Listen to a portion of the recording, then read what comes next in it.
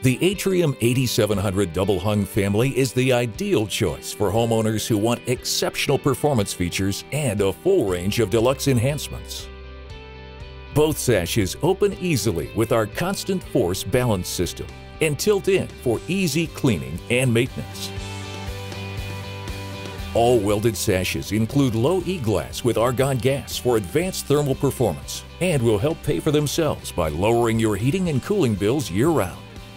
Aluminum reinforced multi-cavity construction enhances thermal protection and results in design pressure ratings that are available to meet even strict coastal building requirements. Optional grids come between the panes, so they never need cleaning and may be ordered in flat or contoured styles in a variety of patterns.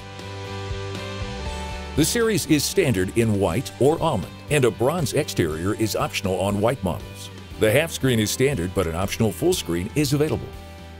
Three jamb adjusters on each side and sizing to the nearest 1 8 inch make for a great fit, and pre-drilled installation holes, head expander, and sill angles are also included to make installation easy.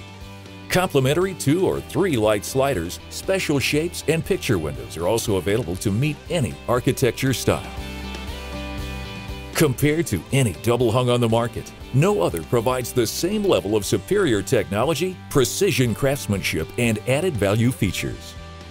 From its standard 25-year glass breakage warranty to its worry-free performance, the 8700 series will keep your home energy efficient and looking beautiful, all at a great value.